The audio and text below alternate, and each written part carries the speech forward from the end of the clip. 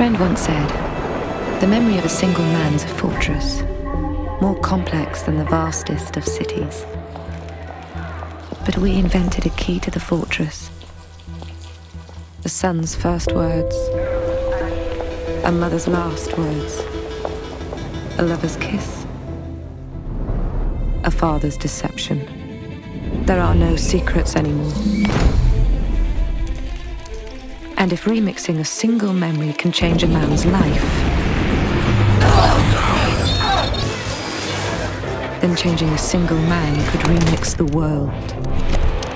That was my job until someone did it to me. They wiped you clean, Nilin. How do I know I can still trust you?